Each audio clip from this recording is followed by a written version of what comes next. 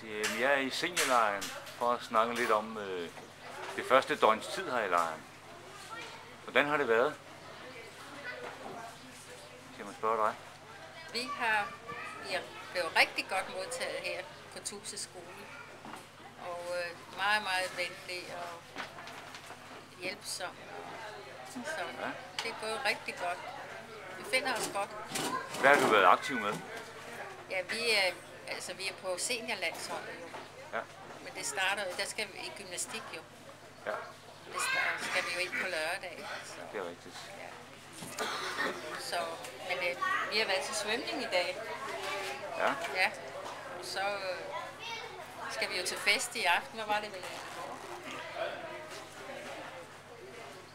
Der var vi inde og ose inde i Vi Holbæk. gik og rosede ind i Holbæk, ja, det gjorde vi da. Så var vi til musikundervisning i går. Sammen. ja. Ja. Samundervisning Ja, herude. ja, ja. Ja, ja. Ja. Alle Nu tider. er nede i teltet, ja. Hvem stod for det? Det gjorde en fra Gerlev. En sanglærer. Sang Han her var fra ikke på Gerlev. Gallo mere, han har været lidt Nej, han har været på Gerlev, ja. Idrætshøjskole. Ja, Så han var rigtig god. Og så var der jo øh, dans. Det var der også, ja. Inde i hals, ja. Og så Ja. byttede de. Med to hold. Så byttede de. Det var, det var. Kommer I fra, fra samme landstidsforening, samme egen? Ja, vi fire her kommer fra samme. Ja. Ja, fritidsfabrikken. DG Vestjylland. ja. Ja. Så. Og ja, nu kan du fortælle lidt om jeres krokke. Ja, vi har spillet krokket jo. Ja, Og det har vi jo gjort i fire timer i dag. To timer i formiddag og to timer i eftermiddag. Og det har været lidt varmt. Men det kan vi jo ikke klage på. Nej. Det har været hyggeligt at være med her. Det er første gang, I er med, ikke? Og det er første gang, vi er med. Ah, jeg har været som helt ung, men det er mange år siden jo.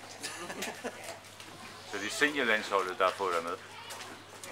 Nej, nej, det er igennem, det er igennem fritidsfabrikken i Stenlille, jeg har startet med at spille. Ja. Og fået interesse for det. Men hvorfor vil du med på landstævner? Det, det var prøver, og øh, atmosfæren og det hele, ikke? Det synes jeg, øh, at, at det kunne jeg godt tænke mig at prøve, ikke? Og I andre, I har været på landstævner før? Ja, Jeg tror, det er 13. gang, at jeg er. Ja. Ja. Og det er lige stor oplevelse hver gang. Ja. Det er simpelthen, vi sætter alt til side for at komme med på dansk. Ja. Det gør vi. Det der kammeratskab. Og man støder ind i nogen, som vi har været sammen med før. For mange år siden. Ja. Ej, ja, du har også. Det, rent tilfældigt. det er så dejligt, altså. Ja. Det, der, det er virkelig dejligt. Ja. Det synes jeg. Simpelthen. I har også været afsted i mange, mange Ja. landstævner. ja, det har vi. Jeg har ikke talt på det, men så længe jeg kan huske tilbage, har vi været med. Det, der er kun nogle få, nogen vi har sprunget over. Det er når vi sådan er lidt mave på. På. ja, ellers har vi været Det er med. mange år siden, du har haft det. Ja, det er det. Det er det. Du har også Men, været afsted til... Nej, jeg har aldrig været på landstævn Nej. før. Hvad får dig til at tage hertil? Min mand. Der gerne ville. Ja. Ja. Så sagde jeg, hvad skidt. Bare vil låne en campingvogn, så ikke jeg skal sove på gulvet. Ja. De to damer, de sover på i sovesal. Vi sover ikke. Tak skal I have. Jeg vil gerne høre, hvad I hedder. Jeg hedder Inger. Og Tonne. Senja. Og Frank,